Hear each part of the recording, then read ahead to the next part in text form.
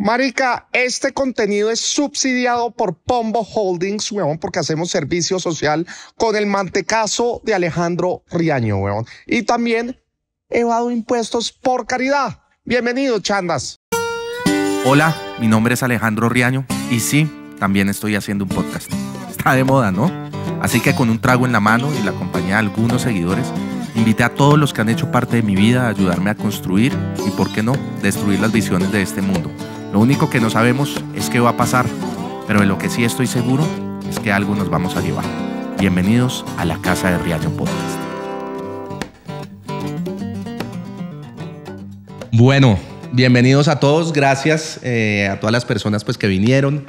Eh, este es el primer video podcast mío de En la Casa con Riaño. Hay algo que detesto y es hablar en tercera persona. Y ya cuando estaba hecho el letrero, pues quedó pero ¿cómo habría sido? Cómo habría sido ahí, en la casa de Riaño, ¿sí me entiende? En la casa de Riaño podcast, o sea, yo sí, en mi casa. Pero entonces, ¿cómo podría haber estado escrito, por ejemplo? No, en mi casa, no sé. En mi ya quedó así, por el formato. Pero sabes que a mí me, parece chimbo hablar en tercera persona porque como que son personajes. Usted se pone de otro lado. No, pero en este caso no sería personaje yo. Ya, ya arrancó esto. Bienvenidos. Fuerte el aplauso a Rendo que nos acompaña. Hola a todos también. No hemos ni empezado. Primer capítulo de En la Casa de Riaño Podcast. Y bueno, este además es una entrevista a primera vista, como dijo usted. Ah, sí, sí, sí, sí. No nos conocemos, nos seguimos desde hace un tiempo, nos escribimos cosas como siempre muy... No quiero dañar esta vuelta, siento que... ¿Qué quiere hacer? Como un Estamos nerviosos los dos. Yo estoy muy nervioso porque es mi primer video podcast hablando serio. Y tu papel de arroz porque, porque estoy brillante. Papel de arroz, me consiguen papel de arroz. Póngale arroz a un papel y lo traen. Es que también, también trae un obsequio para la casa, claro. Porque, bueno, pues muchas gracias.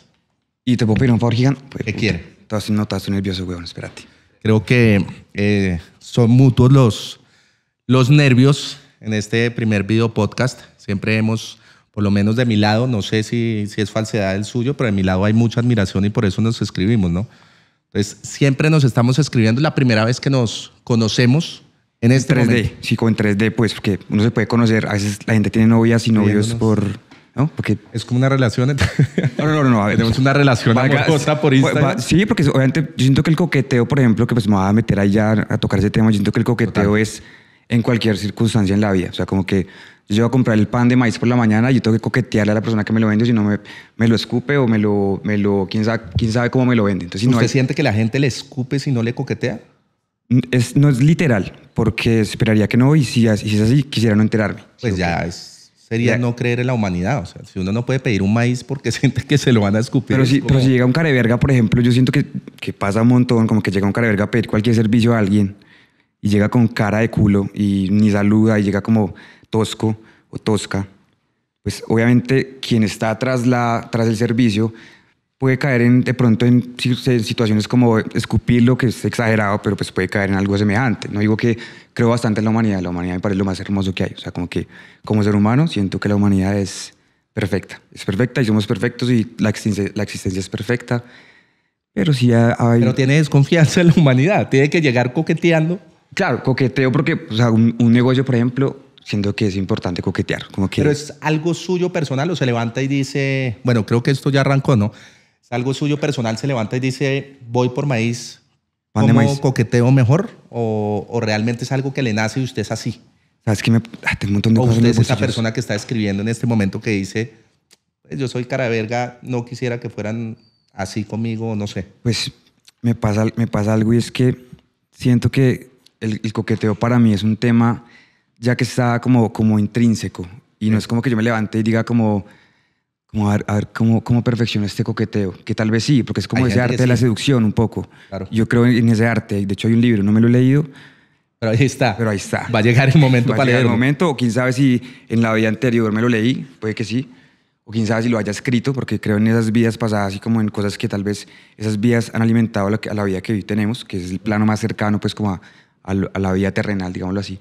Entonces como que siento que en mí la seducción aplica desde un saludo lindo a alguien, como hola, buenos días, ¿cómo estás? ¿Cómo, cómo te sientes? Sin escatimar si es X o Y o si es... Si, si hay valores sociales que, lo, que, lo, que, lo, que para personas se convierten en maneras para hacer sentir más o menos a una persona.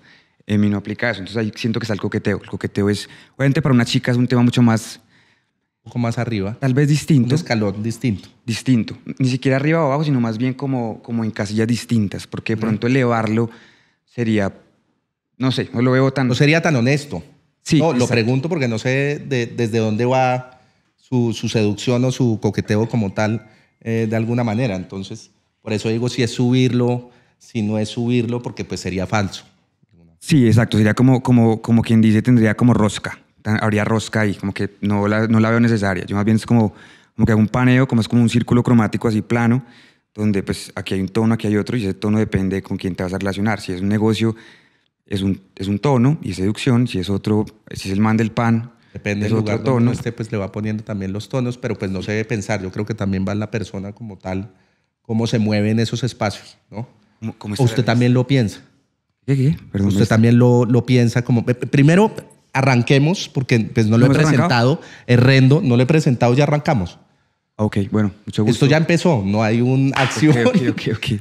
Rendo, eh, artista rolo, vive actualmente en Medellín, se fue de la casa hace mucho tiempo, según me contaba. Sí. Eh, sus padres, pues artistas, su papá es arquitecto, su mamá artista Sensible, socióloga, sensible. sí. Ok. escritora, perfecto. poeta, canta, bueno, es sensible.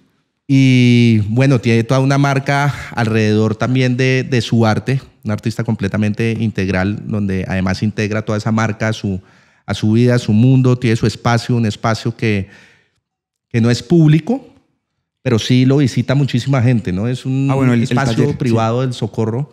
Sí, sí, sí, es un, es un, lugar, es un lugar que se llama el Classroom y el Classroom, digamos que ese nombre sale, eso fue un ejercicio que de hecho, digamos, con, con Jason, que hemos estado como muy de la mano trabajando hace mucho tiempo, más como desde, desde una contratación directa y una relación estrictamente laboral, ha sido un tema mucho más de conexión y como que él y yo somos un poco sedientos, entre comillas, de, de estar todo el tiempo aprendiendo y creo que cuando uno aprende, que es todo el tiempo, también por ende enseña y creo que si uno se aleja de lo uno del otro, pues no es tan positivo. Es como naturalmente uno enseña y naturalmente uno aprende. Entonces nace el Classroom un día en mi, en mi casa, de hecho vivía en una casa, en un apartamento muy pequeño y ahí antes de tener el taller le puse el Classroom. Entonces como que el Little Classroom, era como, entonces para Jason y para mí era el Little Classroom.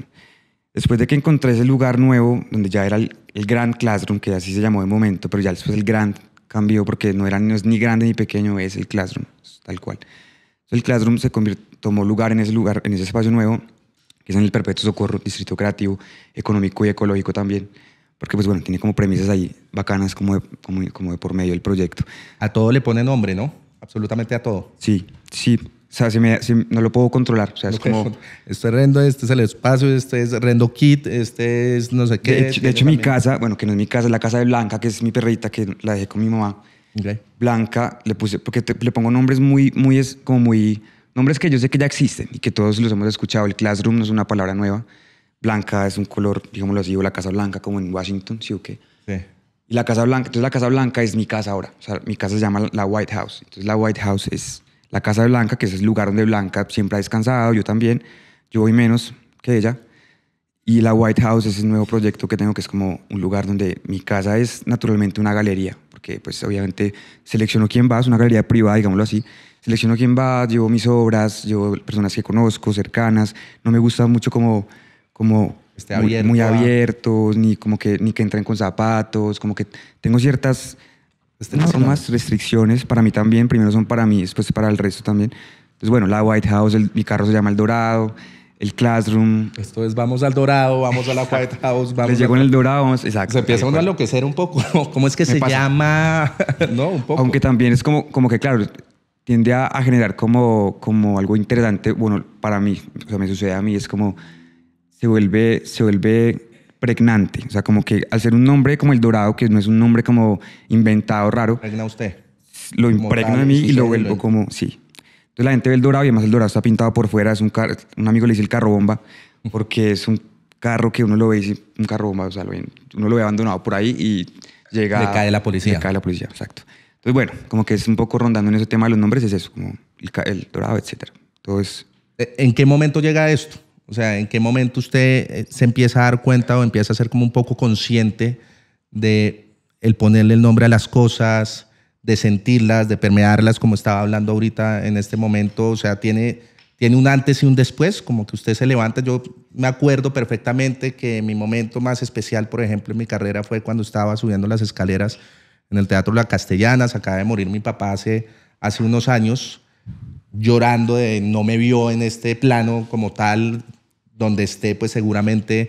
Hay que, eh, sentir, hay que sentirse para, yo- para yo, para yo entender, que, o sea, ¿qué, qué viste no, Como- me eh, estaba invadido como en, en, en, en muchas emociones, diría yo, felicidad, pero a la vez tristeza de saber como que no estaba, pero también sentía de alguna manera que estaba presente en todas partes y que me llevó de alguna manera hasta ese lugar. y recuerdo la subida, no recuerdo el show, pero recuerdo cada paso y cada escalón subiendo al escenario. O sea, entonces ahí sentiste, para yo entender, también entender la pregunta, ahí, ahí entendiste como que sentiste que hubo un, un precedente en tu vida, digamos, en tu- respecto a la carrera, pues, como... Ahora el podcast es de Rendo, pero eh, no mentira, molestan. No, pero sí, para entender un poco, un antes y un después ese momento, eh, porque como era un sueño tan grande, presentarme en ese teatro, Ok. tenerlo agotado, como que era el referente de los comediantes en, en Colombia, llegar a como a la castellana. Eh, lo logré como a los 20 años y apenas terminé el show, la gente pues hizo- tuve como una ovación de, del público en ese momento, sentí una emoción grandísima del, del show que había tenido y ahí bajé al camerino y dije, bueno, ¿y ahora qué? Pues ya cumplí mi sueño, ¿ahora qué hago? Entonces ahí la vida realmente se me volvió de retos. Entonces cambió un poco para mí el pensamiento de este es un gran sueño, que obviamente hay que, que trabajarlo, pero como llegó a una temprana edad dije, ok, se me va a volver un reto y el reto es, el reto es este y así fue como paso a paso. Digamos que cada proyecto que voy armando, este es un reto más en mi vida. Entonces siento que son un antes y un después. ¿Usted recuerda eh, ese antes y ese después de, de su carrera? Antes de esa respuesta, igual iba a hacer la aclaración de lo del, de lo del podcast de, de Rendo, porque ¿Qué suena tiene? chistoso, es bacano lo que, pues como ese, porque te pregunté y tal, sí pero obviamente también nos estamos conociendo, entonces es, este podcast tal vez sea como esa ronda de, de preguntas cuando uno tiene una primera cita como de conocerse, ¿no? De no voy a entrar en, pues, exacto, ires y venir, ese rebote. Sin embargo, pues entiendo obviamente la dinámica y pues no me saldré del curso en lo absoluto, ¿sí? No, pero es molestando porque yo también manejo la dinámica del humor, entonces pues Ah, un bueno. poco no me puedo salir y la idea es salirme Bueno, un bueno. poco y desmarcarme de eso. Pero listo. Entonces va, Si listo. quiere preguntar, pregunta, está en mi casa. ¿Qué tal Bueno. uno en la casa? No puedes hablar. Sí, no estaría tan chévere. No me no, o sea, habría llegado más temprano que me no puedes preguntar esto, ni eso tampoco, ni eso tampoco. Total, acá esto está prohibido. Eso fue- eso fue se vuelta. tocan. Puede cambiar, ¿no? Oiga, sí. Ya lo está haber haciendo. llegado a Raya, yo vi la última historia y dije, marica, llegué a Raya. Llegué a Raya, y esto ya es complejo, o sea, llegar a Raya, a Raya sin poder uno saludar al perro, así como hola, te... No, Los pero, igual, pero- de hecho también quería hacerlo un poco así como nuestro encuentro, como directamente saludarnos acá quemar en el ropa. Podcast, a quemar ropa. Sí, total. Bueno, a mí se me ensució la camiseta ahorita y yo tengo un truco que se los roto por si de pronto les sirve. Claro, una mancha de sopa o de algo en la ropa se ve feo, ¿sí o qué? Pero pues de color, no tanto. Entonces lo que Le hago es que corazones. Le pongo mis toquecitos y ya siento que cambia un poco. Mi papá me regaña, pero, pero siento que Pero funciona. está buenísimo. Sí. Uno un corazón, pero hay que andar con un pincel. Es como el mago andando con unas bajo la manga. O sea, a usted le toca andar con un pincel por si se echa. Vamos a un día, almorzar, exacto. Tengo que andar con un marcador. Y igual siempre ando con un marcador porque vengo muy del graffiti. Y el graffiti, si no estoy yendo claro, pues mambe me dicen. Vengo, vengo del graffiti, entonces, Podemos esperar para que esté fresco. bueno, pero igual ir intentando, me, me parece un reto chimba, lo voy a asumir. Ok. Mm, como vengo del graffiti, el graffiti siempre es como cargar una herramienta con la que puedas escribir por ahí. Y ahí también parte mucho todo lo que, lo que ha sido, digamos, mi, mi proceso. Mm, La firma siempre dejarla. Ujú. Como algo muy como de los grafiteros. Lo más notorio. Ajá, exacto. Mm, salud. La pregunta, ¿cuál era? Me encanta esto. No, ¿cuál fue ese antes y ese después? Si se acuerda Mm, sí. realmente, sí, sí, ya me. ¿cuál fue ese punto donde, donde usted dijo, voy a hacer rendo, porque además no sé su nombre, de pila, Wow. Es que Eso es es, chévere. eso es un gran tema, sí, sí, sí. exacto, eh, ponerle nombre a las cosas como, como sí, yo creo, yo creo que hay un giro en la vida donde uno dice, es por acá. Y obviamente eso va cambiando constantemente con, con el trasegar de uno eh, por la vida y, y lo que usted está pensando ahorita, pues no lo va a pensar en 10 años seguramente porque uno la va madurando y la va cambiando. Yo creo que la, la vida, bueno, que no sé si sea un tema como muy general y, y, y tal, pero para mí, por ejemplo, la vida ha sido de esos momentos incluso, como que, claro, me voy de mi casa y he descubierto que me fui de mi casa como, como huyendo un poco, porque soy partidario y es casi que una recomendación que doy con todo el amor del caso. Los casos no son los mismos, pero creo que salir del nido es muy importante, como que hay que volar. Enfrentarse a la vida.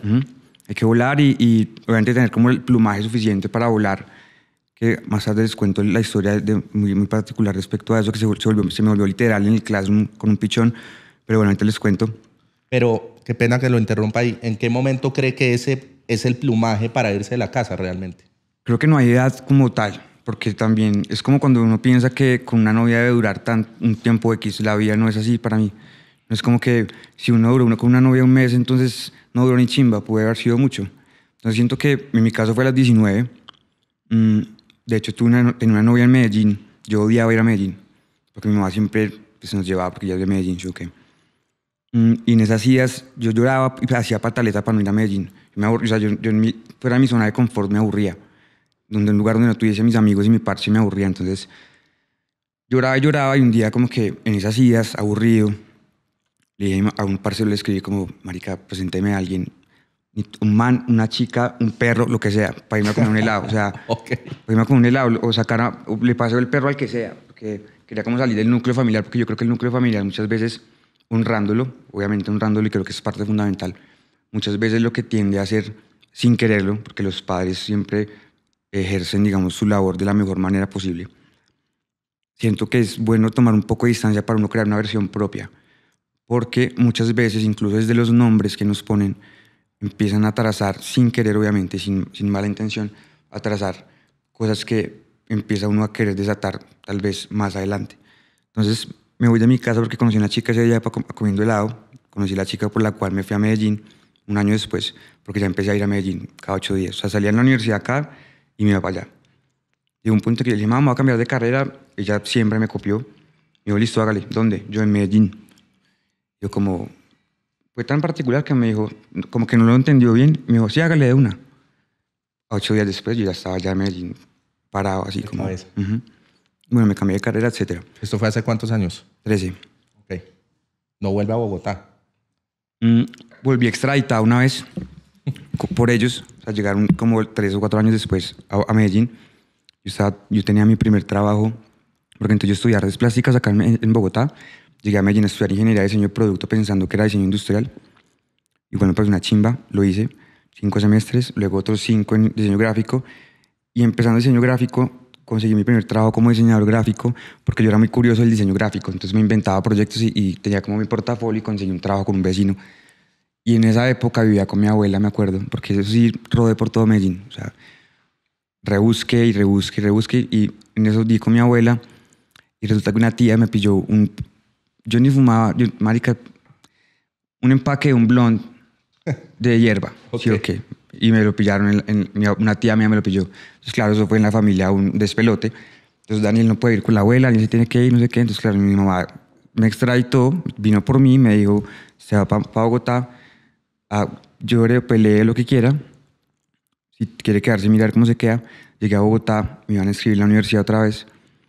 Y yo les dije, no, no hagan eso porque no voy a ir. O sea, y no, no por un acto de rebeldía como tal, aunque sí. O sea, era una convicción, como que yo tenía como algo trazado. Y pues pudo haber sido Cafarnaúm o Medellín, pero yo sentía que en Medellín tenía que estar un tiempo más. Entonces yo en ese tiempo tatuaba, entonces tatuando acá en Bogotá con parceros me hice una, una platica, y le dije, mamá, voy de vacaciones a Medellín con un millón de pesos que tengo. Y hoy no he vuelto todavía. O sea, ¿Cómo, ¿Cómo fue enfrentarse a Medellín siendo rolo y ahora de Medellín enfrentarse a Bogotá? Porque ya tiene una vida consolidada ya, ya tiene su trabajo, tiene sus cosas, tiene su arte, además que su arte nace en Medellín realmente, como esa identidad sea un poco allá, ¿no? Digamos ¿Cómo que... la enfrenta cuando viene además a la ciudad que, donde creció y que además antes de irse a Medellín, digo, yo no quiero Medellín, yo no me voy a ir a vivir allá, yo no, me quedo en Bogotá, pero pues lleva 13 años en Medellín. Claro, es muy, es muy es irrisorio porque era la ciudad donde yo no quería ir nunca jamás. ¿sí o qué? Entonces encontré en Medellín una magia, tal vez, tal vez también era importante para mí construir mi versión porque yo en Bogotá estaba un poco sujeto a lo que mis padres quisiesen darme de momento. Entonces, claro, yo someterme a ese rebusque cuando me, cuando me fui allá con ese millón de pesos, claro, con mi mierda, toda la que no está escrita, la llamada a mi mamá era como, mano, no tengo para el almuerzo. Bueno, devuélvase, yo le pago el tiquete. Yo colgaba y seguía como, bueno, a mirar qué sigo haciendo. Entonces como que seguí como dando, dando esa lucha y sentía que yo estaba como ganando un desaprendizaje que necesitaba. Porque claro, yo en medio de ese nido sabía que era tal vez más sencillo, entre comillas, porque pues entre comillas lo tenía todo, pero finalmente para mí eso no es todo. Entonces como, como haber sentido que estaba como, como enfrentado a encontrar eso mío personal, mi progreso como, como individuo. Ahí, ahí se vuelve un poco una, un tema de, de, rebeldía, sobre todo como en, como en esa edad, yo creo, porque teniéndolo todo también es como no queriendo tener eso, teniendo la oportunidad, sobre todo en un país creo que tan desigual como lo es el nuestro, donde no todo el mundo puede ir, me voy de la casa y ya. ¿Dónde como, dónde duermo, dónde vivo, qué hago? A la final, pues usted tenía unos papás que si se devolvía, pues le ayudaban con lo del tiquete. Claro, y tenía Pero quería desmarcarse un poco de eso, ¿no? Desmarcarme de eso y sobre todo entendiendo que, que para mí, por ejemplo, en la vida, y he entendido eso, es que no, la riqueza no es eso. Como que yo siento que la riqueza es algo que está adentro. Y suena cliché, para mí es cero cliché, creo que... Claro, pero suena así cuando se ha tenido todo. Sí, si me explico, usted puede hablar de... Puede hablar de cosas materiales cuando ha tenido todas las cosas materiales y, y decir en su vida, ah, es que lo material a la final no es lo que importa, claro. Ha estado ahí siempre presente, pero cuando no ha tenido absolutamente nada, por eso le hacía un poco la pregunta de tomar decisiones dentro del privilegio es un poco más sencillo, ¿no? Me voy de la casa, voy a ver qué hago, voy a ver dónde me meto, a la final pues miro a ver si alguna abuelita, tío, amigo me ayuda. Y yo nunca caí, nunca caí en eso, güey. Como que yo estaba en la... Sin, o sea, no, ten, no, no tenía para una arepa. Y, no tenía para una arepa aquí en Medellín, allá en Medellín y, y, yo decía, yo tengo que... Yo me, yo me, somet, yo me sometí a un proceso de, de, de decir, güey, puta, si yo estoy solo entonces en, en el planeta y no está esa mamá y ese niño, ese papá, o esos tíos, o ese parche claro. que uno llegue y le da una arepa, ¿qué putas hago entonces? Entonces, claro, yo me metí eso en, el, en la cabeza, obviamente desde la gratitud de saber que, que, siempre fui afortunado desde el punto de vista económico, porque creo que hay diferentes tipos de, de, fortuna. Total. Entonces, como que, digamos, fortuna de salud, maravilloso, fortuna en términos de alimentación, techo, estudio, oportunidades de hacer arte que me copiaron mis papás, siempre lo tuve y eso creo que es, es, un papel fundamental y vivo muy agradecido por eso, sino que siento que también es importante para mí entender que la vida, por más de que haya una comodidad, yo creo que todo tiene, es un precio que, que, uno, se, que uno puede estar dispuesto a pagar, es decir, como que si yo me aíslo de eso y tomo la decisión de aislarme de eso, no significa que entonces, ah, este marica como no aprovecha eso y tanta gente que no tiene cómo aprovecharlo, entonces, porque muchas veces aprovechar eso tiene un costo y tiene Total. un costo que, que, que o sea, nadie sabe, por más de que ese otro tenga el cuarto lleno de billetes, es un, son costos de vida. Yo siento que, que para mí la riqueza es algo más, siendo obviamente un tema económico, porque la abundancia para mí es un tema, un abanico amplio, donde en un pequeño ítem está lo que se torna económico, digamos, como ese valor del dinero, que es finalmente una, una, una, una síntesis de un trueque. Entonces yo siento que eso es importante y, y, también vivo muy agradecido por eso. ¿Cómo, cómo llega Rendo a, a, lograr como esa identidad? Muchos años, obviamente se va a Medellín como en una búsqueda de dejar todo esto que estábamos hablando de escapo de mis papás, eh, pucha, quiero encontrarme de alguna manera, quiero ver hasta dónde soy capaz, si no tengo para la arepa, pues miro a ver qué hago eh, y empezar a trabajar desde el arte y también encontrar en el negocio ese arte, en, en, en el arte ese negocio como tal vivir de lo que, a lo que usted siempre le apostó. Yo me sentía feliz, por ejemplo, digamos, en, en, un punto donde no tenía un céntimo en el bolsillo, trabajando en un estudio en Medellín, diseño. Yo decía, güey, puta, yo me pudiera comer estos logos que hago, estaría relajado, estaría tranquilo. O sea, como que llegué a un punto, a ese punto como de, de satisfacción personal, como decir, amo esto, o sea, amo esto. Y ahí digamos que en ese momento mi camino como artista, que yo creo que incluso empezó mucho antes, a inicios de mi vida, desde que tengo cero años, que tuve la oportunidad pues como de proceso de vivir procesos muy cercanos y muy apoyado por mis padres, llegó un punto en donde yo todavía no había entrado como a lo que son los fine arts, digamos, como, como, como esfera y como el negocio del arte, digámoslo así. Entonces yo, yo, yo me sentía completamente satisfecho, con hambre la hijo de puta, eso sí, pero satisfecho, y yo decía, qué chimba esto, porque, porque finalmente yo sé, yo sé qué puedo hacer y sé qué puedo lograr y, y creo que hoy por hoy es satisfactorio. Se me olvidó la pregunta que me hizo, weón. es que está que le da, no mentira. No, pero y esto. No, no, no, pero aquí sí, es más, esto, esto, es concentración. Yo pura. sé, pura, oscura. Me- me- fuera- Pero se le está olvidando, entonces ya yo creo que no Estoy va a nervioso todavía. ¿Otro vino? Otro vinito, por favor. sí. Eh, claro que sí. Harold, no mentira. ¿Alguien del público quiere preguntar algo mientras eh, hacemos? yo, quiero hacer una aclaración. Yo sé que a veces me voy por las ramas y que pronto las preguntas es que me haces No, como pero que... estamos bien.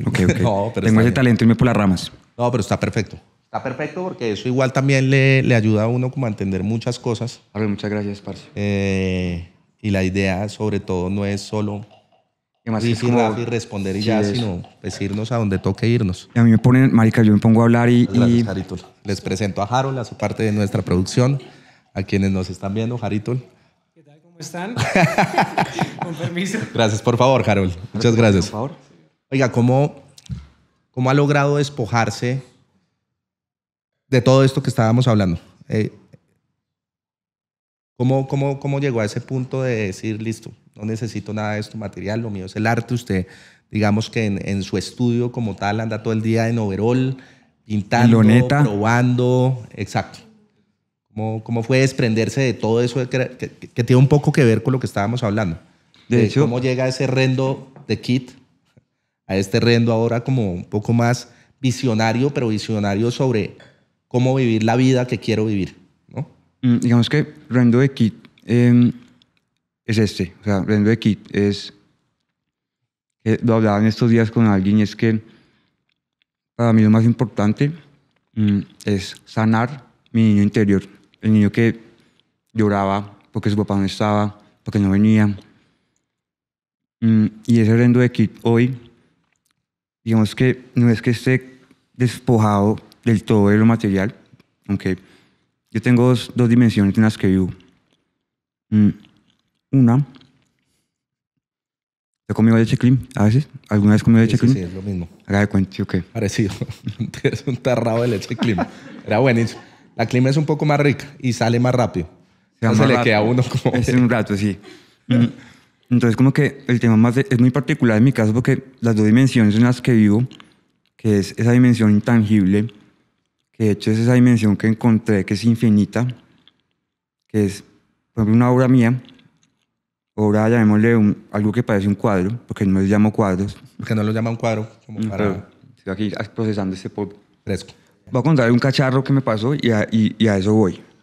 fresco. Yo hasta pinto desnudo a veces en el taller, pinto en pantaloneta, mi pantaloneta rota, me encanta. Porque es que yo tengo un código en la, en la ropa que siento que es un código distinto, porque ¿quién dijo que estar de pantaloneta es estar informal o, o- o- o mal vestido? Eso, por ejemplo, es nuevo. Y me compré la neta para venir acá y todo. Y yo, marica, yo uso lo Ya la manchó atrás o se le regó un tinto, la manchó, la pintó. no la mancha ayer sin culpa. Es que la, sí, también la usé ayer. o sea, no era para hoy. Entonces, Muy bien. entonces me pasó que estaba en el centro en un parche, de hecho un parche así como con Spotify incluso, y fui a almorzar con una amiga que está trabajando ahí y con un parcero a un restaurante muy viejo en Medellín de pastas, una chimba. Y llegué yo en pantaloneta porque me gusta usar pantaloneta y a veces me pongo ombliguera, ¿sí o qué? Eh. Y pues yo tenía el- en ese entonces el pelo largo y tenía moñita, así como Jason. Le cayeron. No, entonces llegamos al, al restaurante, había que hacer fila, y es, es de antaño. Mm, llegamos, entró mi amiga, una mona hermosa, y el parcero, con pantalón largo, normal, y delante de nosotros una chica con shorts un tanto más pegados que los míos. Y entró derecho, y yo, pues no, pues, yo ni, ni- ni pensé. Y yo, ok, entonces llegó mi turno, yo entré, y el señor me dijo, como no, no, usted no puede entrar así, amigo. Y yo, amigo, pero ¿qué diferencia hay entre este- esta pinta y la de la señora que ya entró? No, no, no, usted no, no aquí, aquí no, No se puede. clasifica. Exacto, no. Derecho de admisión. Sí. Se llama así, ¿o qué? Mm, y yo dije, bueno, voy a, voy a, jugar un poco con este man porque voy a aprender algo acá. Le dije, parce, es que sabes qué, lo que pasa es que yo estoy en rodaje, estoy rodando una película y pues este es mi papel de momento y vinimos a almorzar pues, con ella, con él y entonces mi amiga me ayudó como, ah, sí, sí, no sé qué. Ah, bueno, bueno, no, siga, qué pena. Entonces, claro, Dios. hay una pequeña membrana ahí muy extraña, que con un overol me pasó lo mismo. Un overol pintado, vuelto mierda, pero a mí me gusta. Y man- un, man, un man en un bar me preguntó, ¿usted lo antes de dejarme entrar, ¿usted lo compró así o viene de trabajar? Y yo dije, parce, no, lo compré así. Ah, bueno, no siga. Entonces hay un código ahí que en la ropa, entonces a eso iba. Y es que la ropa para mí es un tema que, que es, mane- es ultra manejable. Entonces como que siento que, puta, perdí el hilo otra vez. ¿Se perdió? Pues es que tengo tantas cosas en la cabeza a veces que... que, que lo de la ropa. Sí, la ropa, o sea, sí, sí lo de la ropa, pero como que iba a algo puntual. Eso me pasa a menudo porque la cabeza me, me, me arroja Oiga, varias cosas. Siempre tengo que anotar todo en la siempre ando con una libreta que de hecho está ahí Eso, y anoto mis poemas, mis escritos porque me toca, Hay huevón, que plasmar todo el tiempo sus ideas para esto. ¿Cómo, cómo las plasma? Que me De parece hecho, yo estoy en una conversa con alguien, incluso no sé por qué no la he sacado, yo, yo tengo mi libreta acá porque tomo nota. De todo. Porque hay- o sea, aquí se ocurren ideas y, y a usted le puede ocurrir una idea de momento, una conversa con alguien y es chimba tener donde anotarlas. porque- Claro. Entonces, por eso. Pero, pero conociéndose un poco, como ya se conoce, que sabe que tiene que estar anotando todo, como se levanta de pronto, dice, tengo la idea, y de pronto llega a plasmarla y no la puede plasmar porque se le va. Pasa tiene que, que tener libretas por todos lados, tiene que tengo estar... una, o sea, tengo una cada tanto. O sea, tengo una, de hecho, una, me dura- una que es grande, entonces la muestro, es grande, me dura dos meses. Tiene para unas, no sé, 150 hojas. Pasa que es mi pasatiempo favorito. O sea, como que ahí tengo todo. Tengo, escribo mucho, ideas todo el tiempo se me ocurren, entonces como que las consigno. Pongo mis, mis tareas del día, aunque las tenga en un Excel, las tengo ahí como papel, ya hago tráfico para ir 10 veces al día, yo solo ahí como, ¿qué me falta? ¿Qué me falta? Es como que soy muy metódico por eso, porque soy muy desordenado en mi mente, pero creo que eso es un, un poder, pero que hay, hay que organizarlo. Si no se organiza, marica, no pasa nada. ¿sí yo creo que em, la sociedad muchas veces se, se encarga como de encasillarnos en, en algún lugar a, a- a cada uno. En, en su caso, en el, en el tema del arte, ¿cómo, cómo se encasilla usted como, como un artista? ¿Qué piensa que es? ¿Cuál es ese rendo? ¿Qué, qué, qué aporta como desde el arte? ¿Cuál es ese pensamiento como de aporte del arte hacia el mundo? Em, ¿Qué piensa cada vez que va a plasmar una obra? ¿O simplemente va plasma sus ideas y listo, y deja entrar gente, le compran de vez en cuando, creó la marca, crea como esos proyectos chimba de los que estaba hablando, pero, pero, pero va un poco más allá o simplemente es lo que estamos hablando como llegué, soy esto, punto, quiero vivir del arte, hoy se me ocurre una idea, de pronto otra, o hay un fin como tal, porque yo creo que de alguna manera hay que disfrutar el camino. Hay otros que ven un fin, hay otros que ven como un lugar o una cima a la cual hay que Una llegar. y ahí meta. está el, éxito y llegué y ya. Como cuando usted ese escenario y ahí hubiese acabado. Exacto, dije, ya lo logré, pues me voy a la banca a trabajar. No sé, Yo lo veo es como que de hecho también es una reflexión chimba y que, que chimba que lo tocaste. Así todas las preguntas que me has hecho no las he respondido. Pero siento que esta es importante y es como, weón, para mí la trama es lo más importante. Entonces, claro, yo digo, bueno, el tiempo de vida que tengo a nivel terreno. Ah, marica, las dimensiones, sí, ya me acordé. Bueno, las dos dimensiones, ahí están ahí, te las voy a dar, ya, te- ya te respondo las dimensiones que es importante. de una. Entonces el tema del, del oficio y del arte, digamos, como ese rol y ese papel que siento que tengo. Y es como que día a día hay un tiempo, tengo un día. Yo en un día intento hacer lo que haría en toda una vida. Entonces en un día intento mover mi cuerpo, que, que, que mi cuerpo sude, que llore, que sude es literalmente sudar, no sé, haciendo 21 en el parque, así corriendo, haciendo flexiones o montando bici- me encanta montar bicicleta, entonces doy vueltas por ahí en la ciudad, me gusta la, la- la bicicleta en la ciudad como hacia el riesgo, hacia el lado de los buses como, como al límite, ¿sí o qué? Entonces hago eso, me gusta hacerme un desayuno chimba, tomarme un café tranquilo, muy agradecido por eso porque creo que el tiempo, poder, poder usar el tiempo en ese tipo de cosas y encontrar el deleite en esas pequeñas cosas es, wow, o sea, es como que maricas, Muchos ni siquiera Suficiente. se toman el tiempo para ese café, muchos. Así lo puedan tener. Para esa 21, incluso para muchas cosas que cobran tanto valor para, para muchos y para otros simplemente es un café, ¿no? Ajá. Al final. Y un café que, que hasta, café que, que más los acelera, café que ni, dan cuenta, ni se dan cuenta cómo se toman. Entonces yo me lo hago, me gusta cómo huele cuando está, lo, lo pongo, me lo sirvo, entonces lo- me lo tomo despacio, si ya está frío me lo tomo, hago 21, hago mi tráfico, llamo a mi mamá, llamo a mi papá, mi hermana trabaja conmigo, entonces hago tráfico con ella. Como que me tomo el tiempo, porque hace poco hice la reflexión de decir, marica, no tengo afán de nada. O sea, afán para qué, o sea, para qué, para llegar más rápido, entonces ¿A dónde? desgasto más rápido los, los segundos que tengo de vida, así sean millones y trillones de segundos, no los puedo malgastar y tengo que darme cuenta de cada uno. Entonces, en un día, entonces, pinto una obra, les decía que no, que no le llamo cuadros a las obras, que son como cuadros, les llamo objetos a todo aquello que se vuelve tangible, como un cuadro, una escultura, son objetos. Pinto una obra, avanzo en otra, dibujo, ¿Lo zapa planea? blanca. En algún momento, digamos, lo planea. Usted dice, hoy voy a hacer esto, o simplemente se deja llevar como por la emoción del momento. Tengo varios, tengo como un par de, a veces soy como O en ese tráfico usted dice, ¿En el qué? ¿En qué? en el tráfico, usted dice, vamos a hacer esto, esto, esto, simplemente... No, en el tráfico, por ejemplo, lo que pongo son como cosas que ya se vuelven un tanto más como de, como de estructura que hay que hacer, como que, por ejemplo, mi hermana que mi hermana tiene un cargo que se llama The Officer y The Officer es como quien me ayuda como con todas esas tareas que tal vez Se olvida. yo olvidaría. Sí, está ahí. De momento ya está ahí como, hey, reunión tal hora, hey, no sé qué. Entonces, en el calendario estábamos agendados los dos siempre. Ella tiene todo bajo control en ese punto. Ella habla con la contadora, habla con no sé quién. Entonces, ese cargo es como muy administrativo y como de coordinación interna, así estemos a distancia. Entonces, ¿qué más hago en el día? Por ejemplo, ir a almorzar tranquilo. Hay veces hay candeleo y ese candeleo es chimba porque me gusta también estar en actividad constante. O sea, como que un día para mí eh, puede empezar muy temprano y terminar muy tarde. Entonces, como que digo también, pues me doy, me doy la oportunidad de acostarme tarde, que de hecho últimamente este año he tenido jornadas muy largas.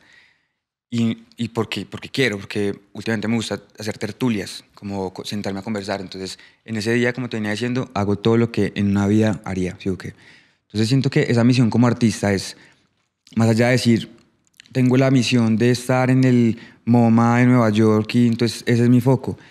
Sé que eso es una, eso es una, una realidad, eso es un hecho, porque es que mi obra de arte y mi, mi, mi papel y mi, mi, mi rol, digámoslo así, por eso digamos que Rendo Industries, Rendo Industries nace como con, el, con la idea de que es toda una columna vertebral y Rendo Industries es, es como un holding, ¿sí o qué? Y ese holding está encargado de, de tener ciertas líneas de negocio, cier- cada línea de negocio es una marca, inclu- incluso cada departamento dentro de Rendo como funcionamiento hasta el económico y financiero se llama, tiene una marca casi prácticamente porque a todo le pongo nombre. Entonces cash flow es como ese departamento donde todo tiene que funcionar muy bien, igual que, porque lo que, lo que mejor funciona hoy por hoy es, digamos, lo que, lo que es como... Parte administrativa, pero con flow.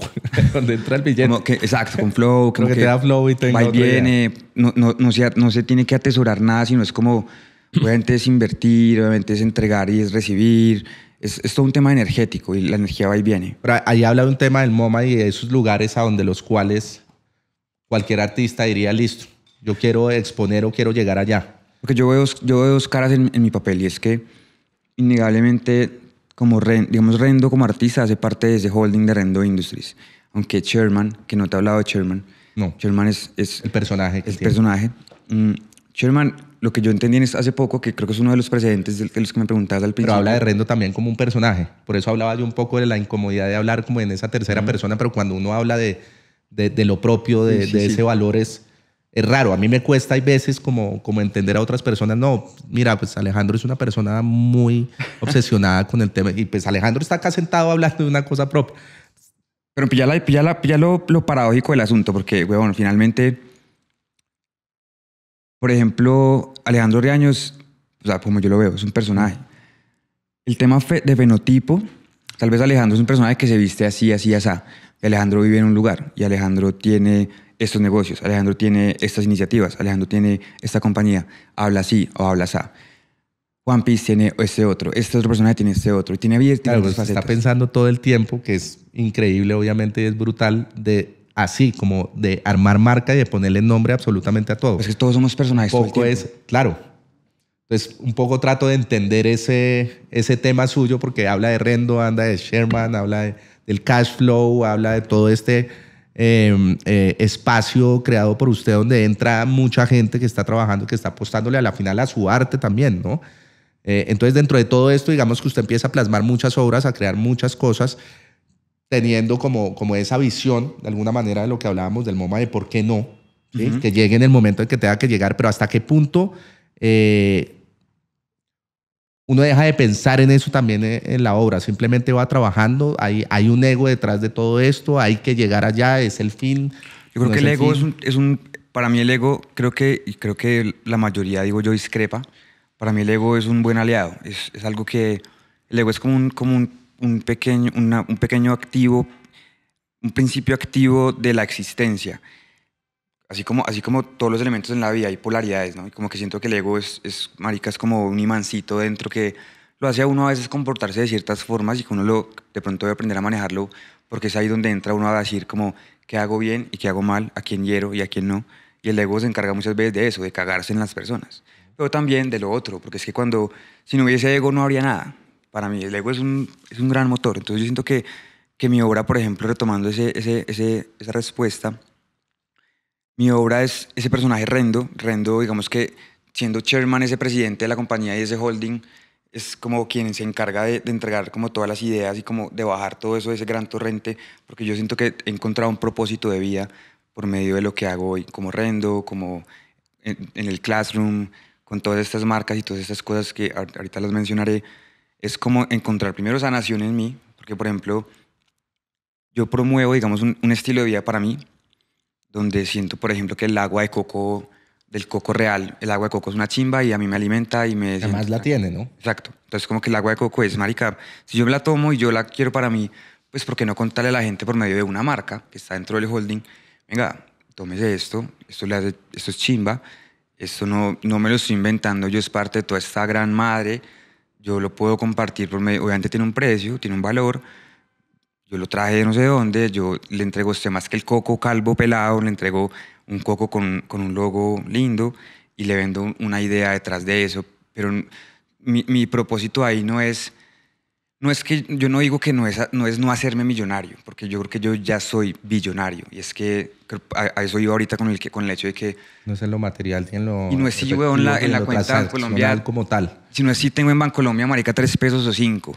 Es simplemente hacerme acreedor de esa magia universal que todos podemos tener. No, y levantarse todos los días y decir, voy a pintar en mi estudio, voy a invitar a quien quiera, voy a mostrar mi obra, voy a hacer tertulias, vivirla de la manera que la está viviendo. Eso es consecuente. A muchos les cuesta, es ser consecuente, pero además a muchos les cuesta también tener primero esa consecuencia y segundo, eh, poder llegar a eso y desprenderse del resto, ¿no? Y vivir realmente del arte. Hay, hay, hay vanidad en el arte siempre hay vanidad de alguna manera. ¿Cómo la, la maneja usted en ese sentido? Por ejemplo, lo que, lo que usted decía, el desprendimiento, digamos, de lo material, que, que no lo terminé de responder también como cosa rara. Pero le acabo de llegar. Sí, me acabo de llegar de nuevo. Está ha ya enviado, gracias.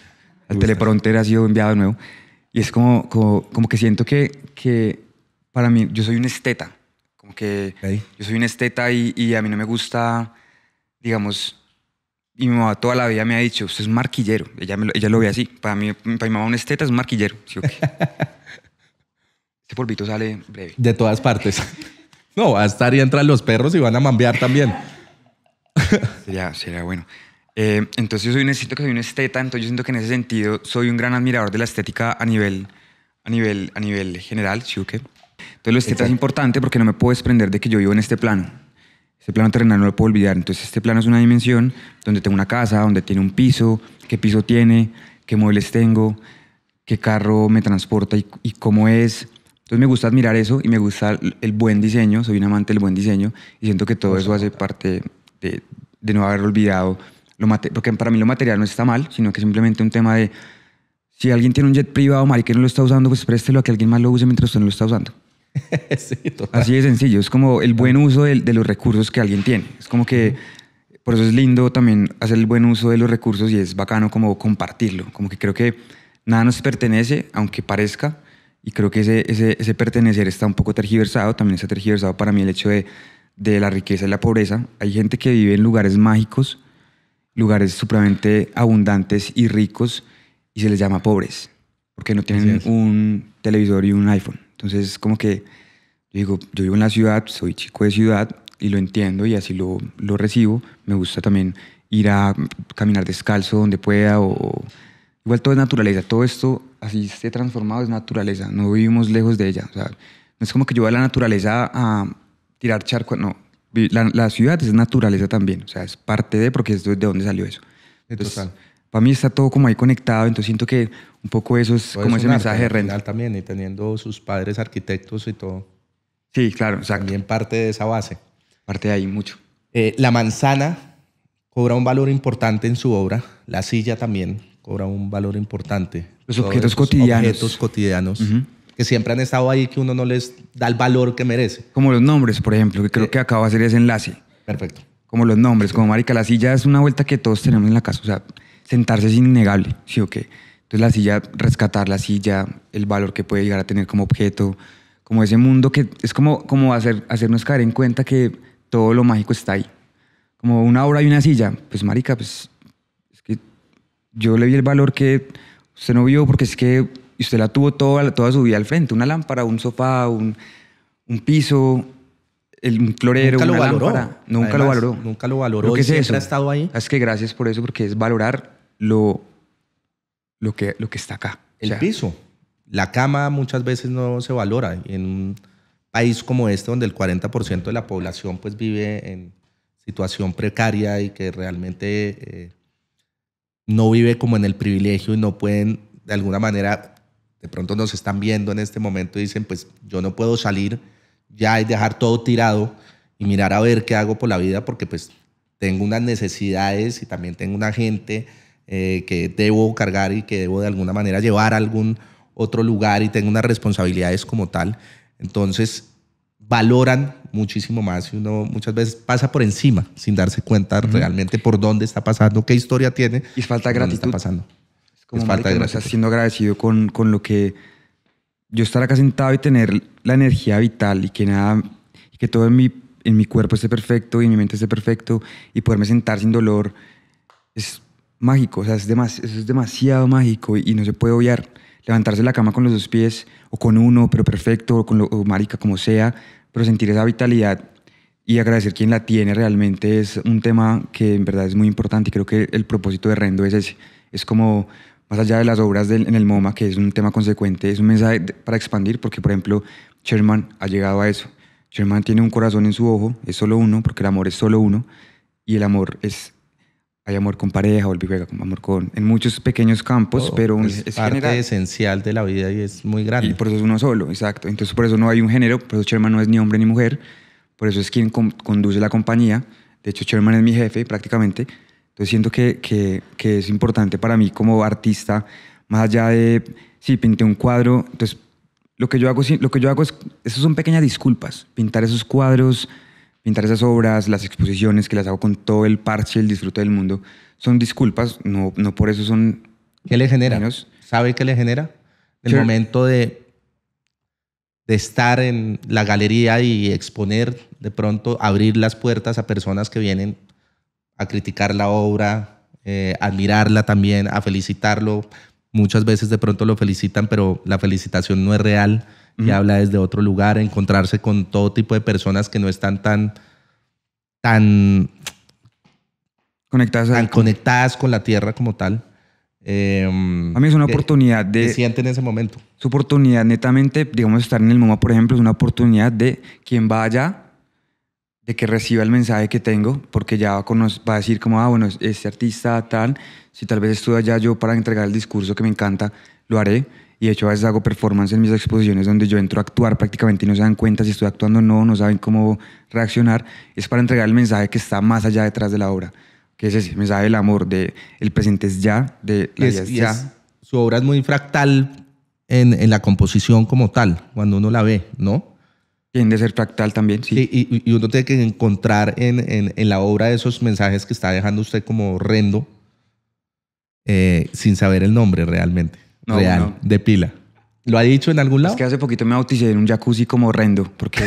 en un jacuzzi se Sí. Ok. sí, pues me, me, me- me hicieron el gesto porque quise Bueno, pero no todo el mundo se, se bautiza en un jacuzzi.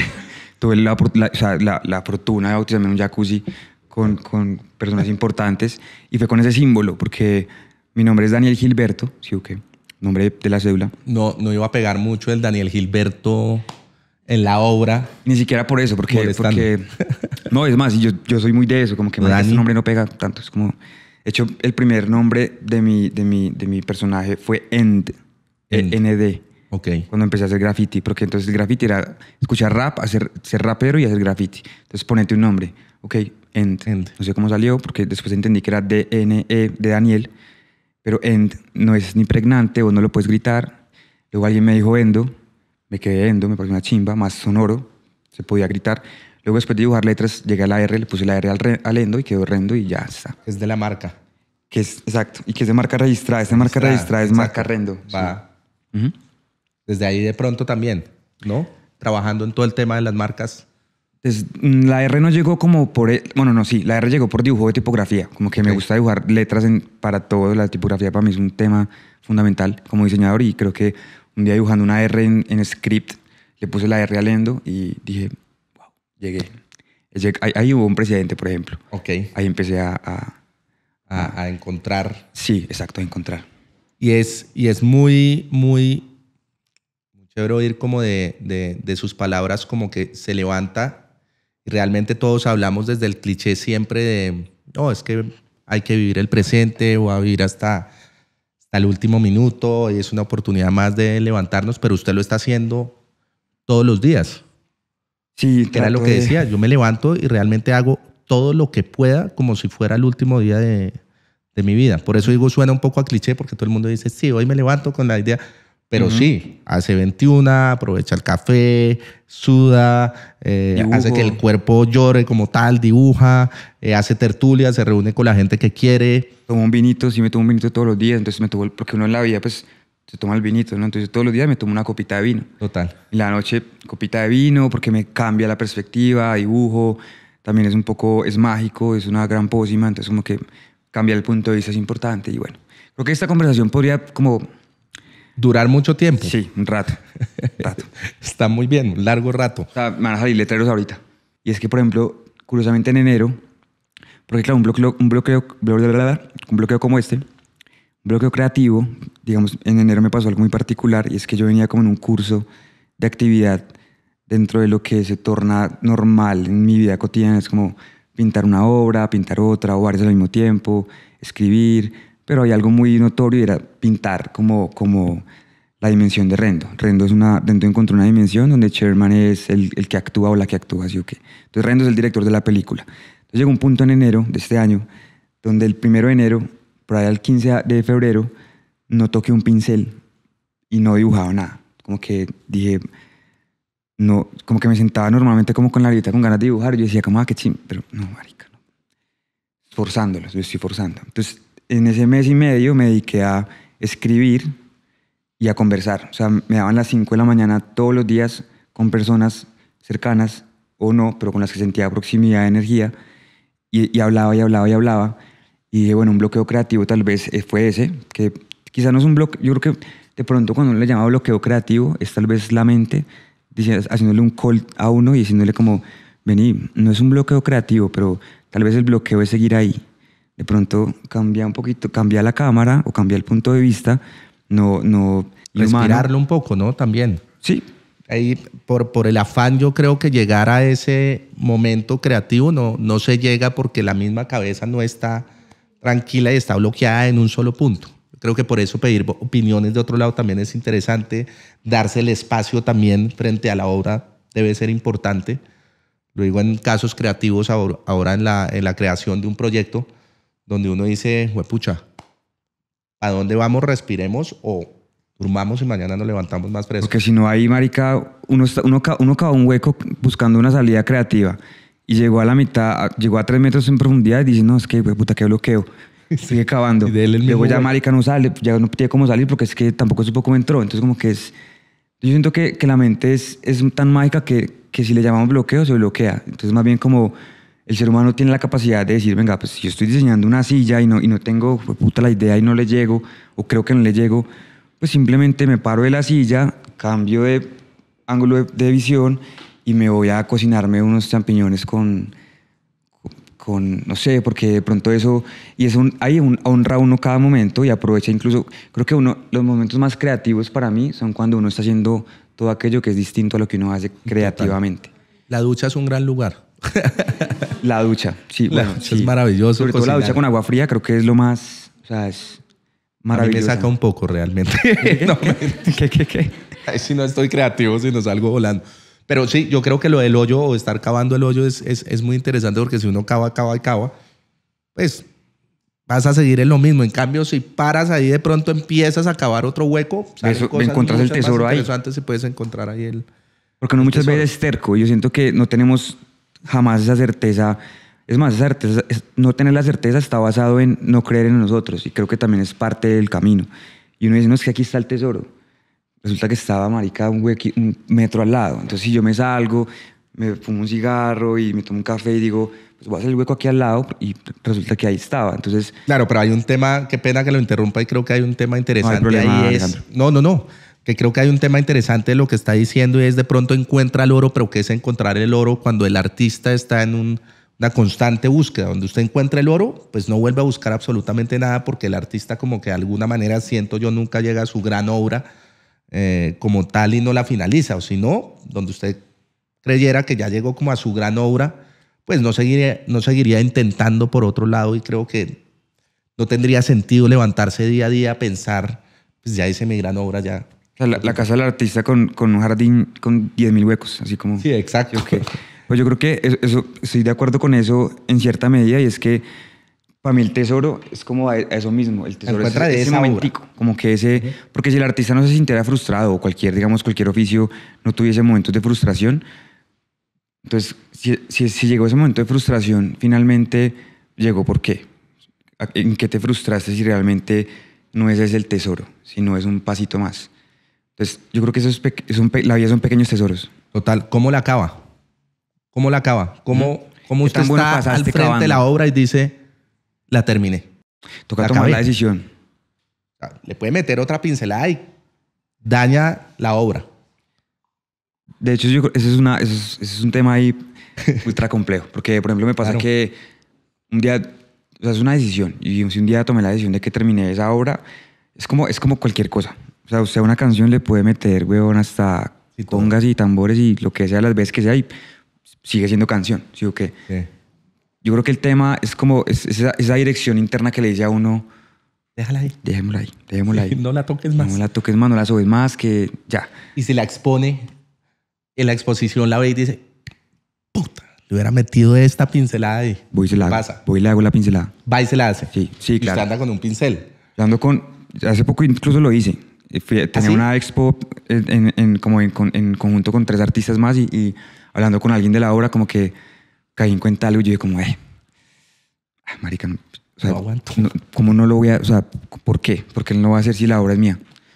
Y, y- y- No, pues cagada si es de otra persona No, y llega a este botero le falta no, porque cre- una, Pam, vez me- una vez casi me no pasó cuesta que. pongo botero pues, cuesta una hueva Claro, y no, esper- esperaría que una hueva literal no. Nuestros testículos están a salvo y jamás pagaremos con ellos. O sea, entonces como que, como que me pasó una vez que vendí una obra, hice una obra y yo decía, marica, pues yo, yo decidí medianamente que estaba terminada y la dejé en el Classroom ahí y, y está, mi, está mi escritorio acá y la obra estaba ahí y yo, la, yo supuestamente había entendido que la había terminado, pero yo decía como, ah, sí, pero no sé. Y un día como que se me ocurrió algo y le, y le hice algo más escribí algo, de hecho, un texto, y ah, marica, sí, acabé, acabé. La vendí a un coleccionista que un día fue a visitarme. Cuando el man fue a visitarme, yo no me aguanté. Eh, perdón Y dije, marica, perdón, yo sé que ya la compraste como estaba, pero en- o sea, tengo que poner otras cosas más. De hecho, esa obra la he ido transformando y yo cada que la transformo le digo, parce, le hice algo más. hice algo más porque es como que no me puedo privar de eso. Ok, digo, marica, no me puedo privar de eso. ya está usted trajo Un presente.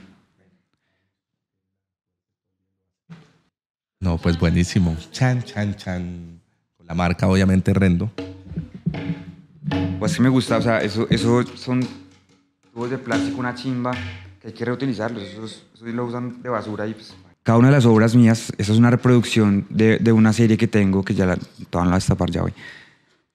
Yo siempre tengo la promesa de que eso es un, eso es un bien, de hecho se trae certificado también de, au- Sí, de autenticidad porque es un bien. Y, y, y weón, sé que obviamente yo la creo que es un bien que le hace a la humanidad más bien con el arte. Y la vives, la vives, yo sé que vives con absoluta pasión, como, como el hecho de, de, de contemplar el arte y que, de, de, marica, vivís de ello, para ello y con ello y con ellos y con ellas y, y generas un montón de, de situaciones bonitas en la vida y creo que esto tal vez hará honor a eso también, es como un símbolo de agradecimiento porque tal vez debemos considerarnos parte de la humanidad y no somos, no somos yo, somos nosotros todos. Total. Estamos juntos, todos somos un parche, o sea, y ese parche se debe hacer notorio en ese saludo a la mañana, al que tiene, al presidente de la empresa, al que recoge nuestra basura, al que limpia nuestra casa o a la que limpia nuestra casa. Todos somos la misma vaina. Así es Y es muy importante, es más, es un rol, todos los roles son demasiado importantes. Y hay gente que dice, marica, es que yo soy feliz haciendo esto. Y claro, por supuesto, es que es un rol fundamental y es hermoso y gracias por eso. Es más, que uno le den las gracias también. Por eso es que todos los roles son culebreros, todos los roles tienen su, su precio y creo que honrar cada uno es muy importante. Muchas gracias. A usted también muchas gracias por, por venir, por lo que hace. Eh, como inicié eh, con la entrevista, era un poco esa entrevista a primera vista donde no nos conocíamos, donde eh, admiro el trabajo que está haciendo Rendo y por eso quería que también, y se lo manifesté por medio de mensajes como arrancar este video podcast con usted por lo que hace, por el desprendimiento que tiene, por el mensaje que deja y por el amor que le meta las cosas, porque yo creo que el arte no saldría adelante eh, en este caso, y no digo a nivel material, sino a nivel personal y de corazón y de amor, si no tuviera ese amor que le mete a cada una de sus obras. Entonces, muchas gracias de verdad por, por estar acá, por viajar, además, por venirse a Bogotá, a Bogotrash, que es bien densa y usted está viviendo como en otro Oye, les lugar que, desprendido de todo. O sea, venir a Bogotá para mí es una sanación más, porque es que, maricas, volver al lugar de donde salí corriendo. Total. Entonces, muchas gracias a todos ustedes por, por venir, a quienes estuvieron. Tú estás así, que la muestre. Pues sí, sí, la, obviamente la vamos a ver. Lo que pasa es que quiero hacer la salvedad de que tuvo una serie de golpes en el aeropuerto. No pasa nada. Para mí es lindo, por ejemplo, cuando... cuando no, porque eso habla, hay una historia. Claro. Con... No es esa obra que, que, de esta serie que está impecable, que carece de esto. Por eso para mí los, las obras que son como más un tema de taller interno se vuelven más chimbas la que tiene el vino encima, no va a ser literal, pero la que tiene el vino encima sí. es como mucho más simbólica. Esta serie... Y hay una cosa que, que, no he acotado acá importante y es un poco también lo que me acercó, eh, es la recordación que usted me genera de, de mi papá cuando hacía sus obras y cuando hablaba sobre su arte. Entonces creo que fue un poco también lo que me conectó con lo que usted hacía con el estudio, de ver a mi papá como en el estudio sin importarle absolutamente nada, invitando a unas grandes tertulias a, a, sus amigos. Y de hecho esto se llama En la Casa de Riaño Podcast porque eh, todos los amigos artistas de mi papá siempre decían vamos a ir a la Casa de Riaño y se volvió como un referente ir a la Casa de Riaño donde había fiestas, donde había arte, donde había esta bohemia de, de, de antaño y creo que por eso también era y por eso me conecté también con usted. Entonces, muchas gracias por traerme como todos esos buenos recuerdos. Bueno, y sabes que de antemano, supremamente halagado y agradecido por la invitación. Creo que conocernos así en 3D, ya después del chat, una chimba. Así a quemar ropa. Yo dije, es mejor que entremos a ver qué reacción es tenemos. Es mejor, pero da calor.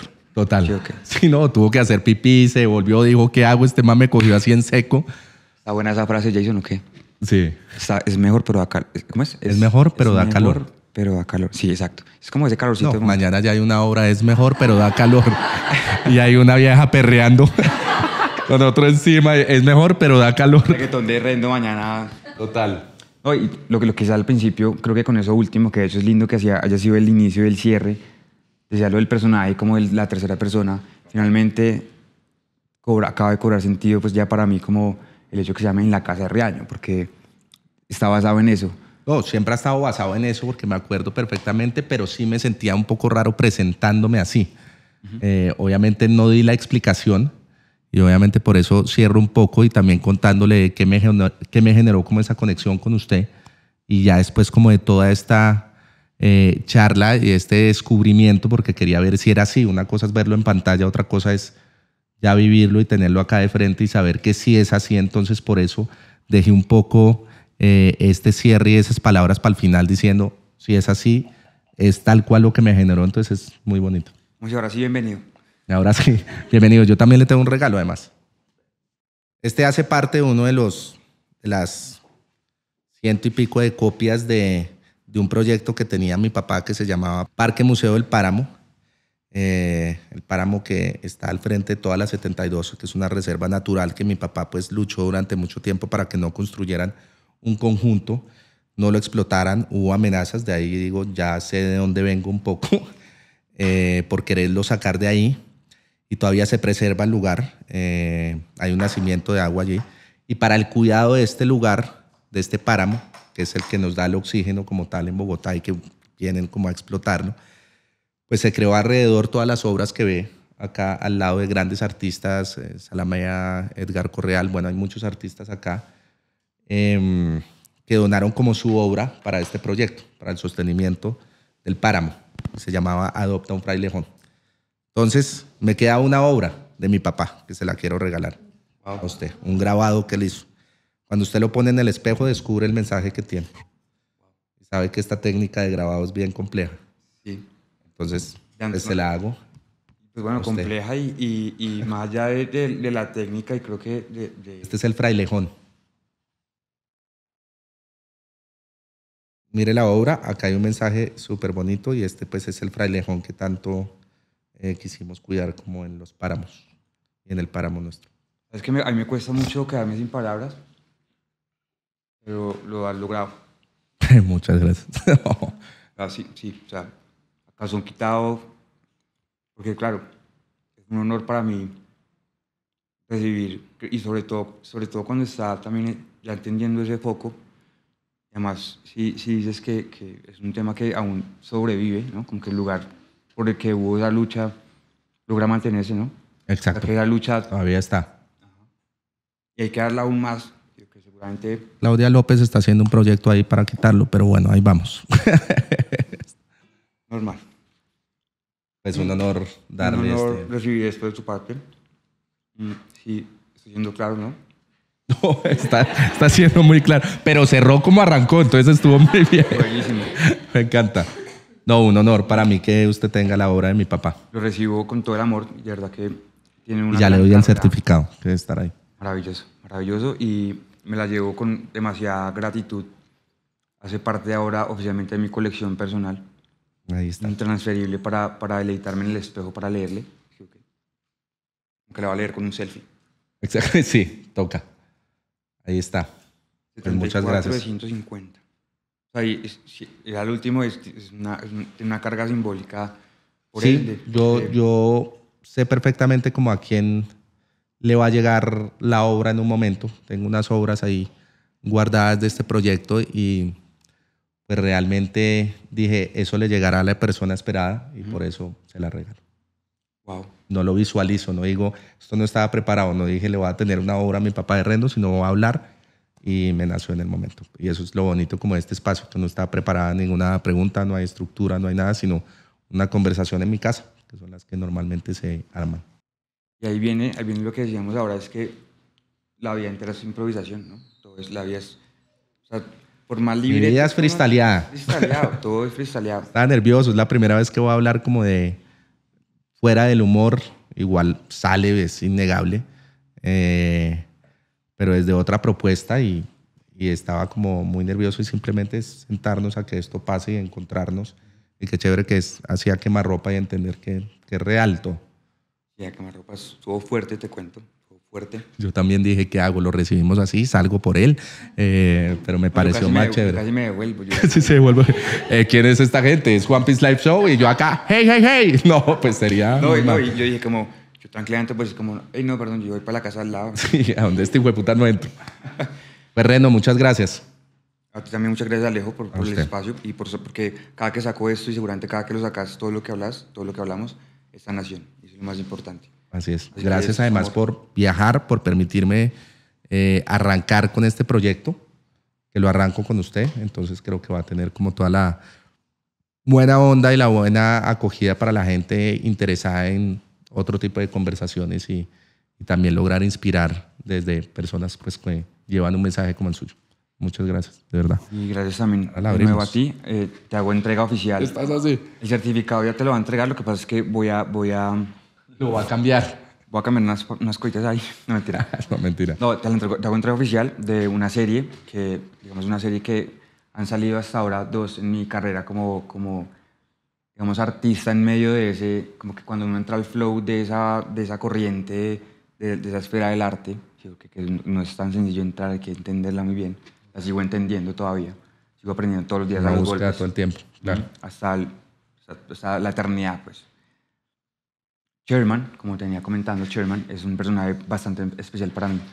Y creo que aún así esta segunda edición de Sherman es tal vez una edición que está enfocada a la gratitud. Y la gratitud está en esas pequeñas cosas que encontramos al caminar.